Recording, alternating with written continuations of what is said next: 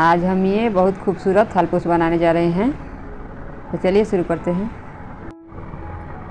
पहले हम एक गांठ लगाएँगे। उसके बाद पाँच चैन करेंगे। एक, दो, तीन, चार, पाँच। के बाद यहाँ पर पहले वाले चैन में इसे स्टिच कर लेंगे उसके बाद तीन चैन एक, दो, तीन। तीन चैन करके इसी बीच में एक डबल क्रोशिया एक चैन वाला हमारा, दो हो गया। उसके बाद ये तीन डबल क्रोशिया उसके बाद ये चार डबल क्रोशिया ऐसे ही इसमें हमें बारह डबल क्रोशिया बनाना है, बना के आपको दिखा रहे हैं। ये हमने बारह डबल क्रोशिया बना लिया है। अब यहाँ पर पहले वाले चैन में इसे स्टिच कर लेंगे। उसके बाद तीन चैन बनाएँगे। एक, दो, तीन। तीन चैन हमारा एक डबल क्रोशिया हो गया। उसके बाद दो चैन एक, दो। यहाँ पर हमें पाँच चैन बना लेना है। अब यहाँ पर जहाँ स्टिच किए थे, वहीं पर से एक डबल क्रोशिया।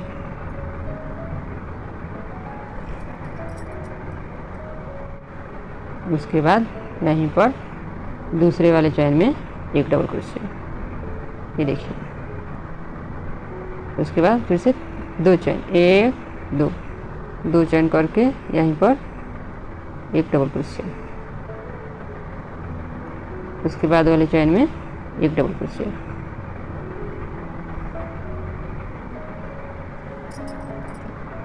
उसके बाद फिर से दो चैन, एक, दो दो चैन करके यहीं पर इसी में से एक डबल क्रोशिया उसके बाद वाले चैन में एक डबल क्रोशिया उसके बाद दो चैन, एक, दो दो चैन करके यहीं पर एक डबल क्रोशिया ये लाइन हमें पूरा, पूरी लाइन ऐसे ही बना लेना है। अब यहाँ पर भी हमने एक डबल क्रोशिया बना लिया है। अब इस पाँच चैन में यहाँ पर इसे स्टिच कर लेंगे। इसमें देखिए हमारा दो चैन वाला बारह जगहों पर है। एक, दो, तीन, चार, पाँच, छः, सात, आठ, नौ, दस, ग्यारह, बारह। अब यहाँ पर हमें एक चैन लेकर इसे कट कर लेना है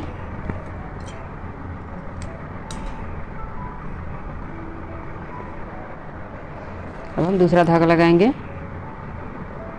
पहले एक गांठ लगा लेंगे। उसके बाद आप कहीं से भी इसे स्टिच कर सकते हो। देखिए, हमने स्टिच कर लिया। तीन चैन। एक, दो, तीन। तीन चैन करके यहीं पर हमें एक डबल क्रोशिया बनाना है। देखिए ऐसे। इसमें ये फंदा हमें इसमें रख लेना है। फिर एक और बार बनाएँगे। ये देखिए, इसे भी हमने यहीं पर रख लिया, ये भी हमारा तीन हो गया है। एक बार और बनाएँगे। वैसे ही एक देखिए, अभी हमारा चार फंदा हो गया है। उसके बाद ये पाँच।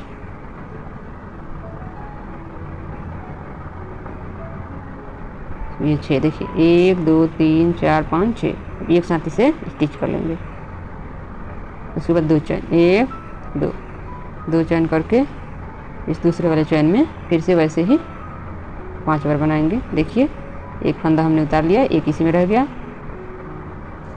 फिर से वैसे ही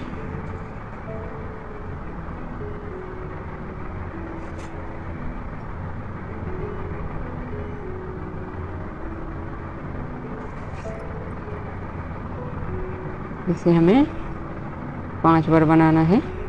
छः फंदा हमने यहाँ पर कर लिया, एक, दो, तीन, चार, पाँच छः एक साथ इसे स्टिच कर लेंगे। उसके बाद दो चैन, एक, दो। अब पूरा राउंड ऐसे ही बनेगा, बना के आपको दिखा रहे हैं। ये देखिए, हमने लाइन पूरा कर लिया है। अब यहाँ पर इसे स्टिच कर लेंगे। उसके बाद एक और बार स्टिच कर लेंगे। उसके बाद एक चैन देकर इसे कट कर लेंगे। इस लाइन में हमारा थोड़ा सा ऐसे आएगा। उसके बाद वाली लाइन में। उसके बाद वाली लाइन में ये पूरा बराबर आ जाएगा। चलिए पहले ये गांठ लगा लेते हैं। उसके बाद आप यहाँ से स्टिच कर लो। उसके बाद तीन चैन, एक, दो, तीन। तीन चैन करके इसी जगह पर हमें तीन डबल क्रोशिया बनाना है। एक चैन वाला और ये एक हमारा हो गया, दो और ये तीन। उसके बाद इस फूल के ऊपर हमें दो डबल क्रोशिया बनाना है। एक, उसके बाद यहाँ पर दो। दो हो गया, उसके बाद इस दो चैन में तीन डबल क्रोशिया एक, ये दो, ये तीन। उसके बाद इस फूल के ऊपर दो डबल क्रोशिया एक और फिर एक यहाँ पर। दो। ऐसे ही ये पूरा लाइन बनेगा। अब ये लाइन पूरा हो गया है। अब यहाँ पर हम इसे स्टिच कर लेंगे उसके बाद तीन चैन करेंगे। एक, दो, तीन। तीन चैन हमारा एक डबल कुर्सी हो गया और दो चैन इसे करेंगे। ये हमारा पाँच चैन हो गया। अब यहीं पर, यहाँ पर इसे एक डबल कुर्सिया बना लेंगे। उसके बाद एक एक चैन छोड़ के दूसरे वाले में एक डबल कुर्सिया उसके बाद दो चैन, एक, दो। दो चैन करके यहीं पर एक डबल क्रोशिया उसके बाद एक चैन छोड़ के दूसरे वाले में एक डबल क्रोशिया ऐसे ही हमें पूरा लाइन बना लेना है। बना के आपको दिखाएँगे। ये देखिए, हमने पूरा लाइन बना लिया है। अब यहाँ पर इसे स्टिच कर लेंगे। उसके बाद इस धागे को कट कर लेंगे।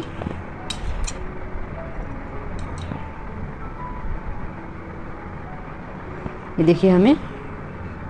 ये देखिए हमने कितना अच्छा से बना लिया है, पूरा बराबर हो चुका है।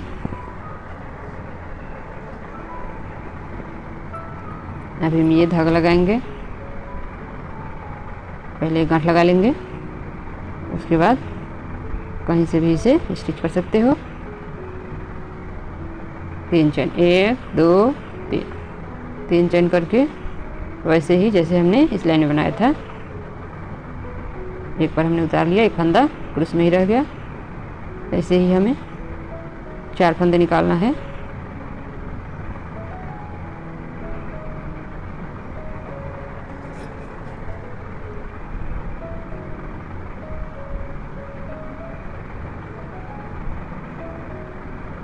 इसमें हमें छः फंदे रखना है। एक, दो, तीन, चार, पाँच छः एक साथ इसे स्टिच कर लेंगे। उसके बाद दो चैन एक, दो। दो चैन करके वैसे ही इस दो चैन में हमें फिर से बना लेना है।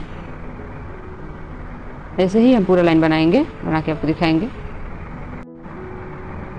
देखिए, हमने ये लाइन पूरा कर लिया है, जैसे इस लाइन में बनाए थे, वैसे ही इस लाइन में भी हमने बना लिया है।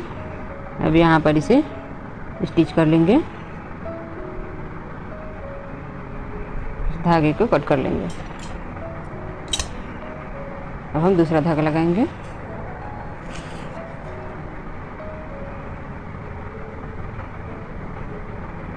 पहले एक गांठ लगाएँगे और यहाँ से इसे स्टिच कर लेंगे। उसके बाद तीन चैन, एक, दो, तीन तीन चैन करके यहीं पर एक डबल क्रोशिया एक और। यहाँ पर हमें तीन डबल क्रोशिया बनाना है। एक चैन वाला और दो ये। तीन हो गया। अब इस फूल के ऊपर यहाँ पर एक डबल क्रोशिया और इसी में यहाँ पर एक और। फूल के ऊपर दो डबल क्रोशिया हो गया। और यहाँ पर तीन डबल क्रोशिया बना लेना है। एक, दो, तीन। उसके बाद फूल के ऊपर दो डबल क्रोशिया ऐसे ही पूरा लाइन बनेगा, बना के आपको दिखा रहे हैं। ये देखिए लाइन पूरा हो गया है। अब यहाँ पर हम इसे स्टिच करेंगे। उसके बाद तीन चैन। एक, दो, तीन। तीन चैन हमारा एक डबल क्रोशिया हो गया। दो चैन और करेंगे। पाँच चैन हो गया। अब यहीं पर एक डबल क्रोशिया देखिए, उसके बाद एक, दो। इस लाइन में हमें दो चैन छोड़ना है, एक, दो। तीसरे चैन में एक डबल क्रोशिया उसके बाद दो चैन एक, दो। दो चैन करके यहीं पर एक डबल क्रोशिया उसके बाद एक, दो। दो चैन छोड़ के तीसरे वाले में एक डबल क्रोशिया उसके बाद दो चैन ये लाइन ऐसे ही बनेगा, बना के आपको दिखाएँगे। ये लाइन पूरा हो गया है। अब यहाँ पर हम इसे स्टिच कर लेंगे। एक चैन देकर इसे कट कर लेंगे।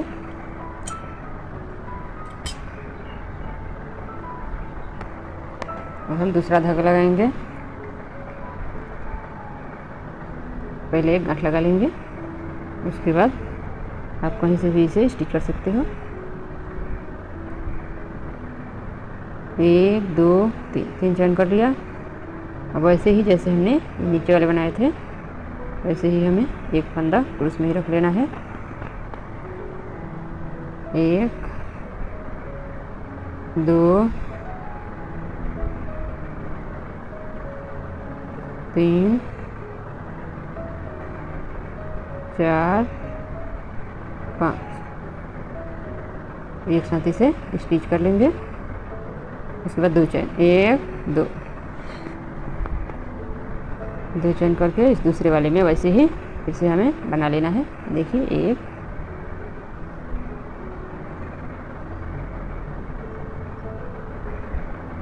एक फंदा में उतारना है और एक फंदा इसमें रख लेना है।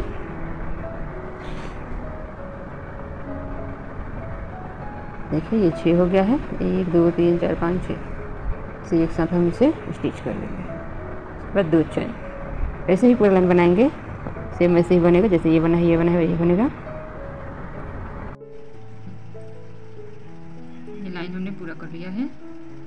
अब यहाँ पर इसे स्टिच कर लेंगे और एक चैन देकर इसे कट कर लेंगे।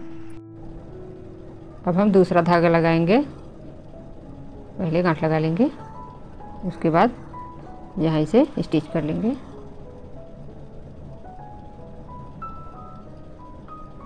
उसके बाद तीन चैन। एक, दो, तीन। तीन चैन करके यहीं पर एक डबल क्रोशिया बनाएँगे। एक चैन वाला हमारा दो डबल क्रोशिया हो गया। यहाँ पर हम दो ही डबल क्रोशिया बनाएँगे और फूल के ऊपर दो डबल क्रोशिया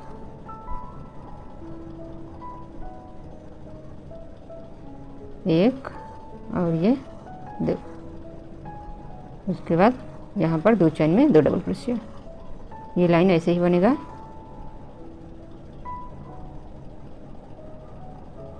ये लाइन पूरा करके आपको दिखा रहे हैं। ये लाइन पूरा हो गया है। अब हम यहाँ पर इसे स्टिच कर लेंगे। उसके बाद यहाँ पर पाँच चैन करेंगे। एक, दो, तीन, चार, पाँच। तीन चैन हमारा डबल क्रोशिया हो गया और दो ऐसे। यहीं पर एक डबल क्रोशिया उसके बाद एक, दो दो चैन छोड़ के तीसरे वाले में एक डबल क्रोशिया उसके बाद दो चैन, एक, दो दो चैन करके यहीं पर एक डबल क्रोशिया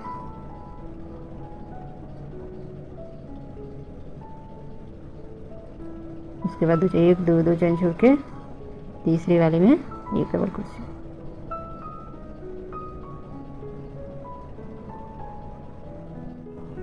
यहाँ से इस लाइन से ऊपर ऐसे ही बनेगा जैसे ये बना है, वैसे ये बना है, वैसे ऊपर ऐसे ही बनता जाएगा, जितना बड़ा चाहे बना सकते हो। ऊपर बना के आपको दिखा रहे हैं।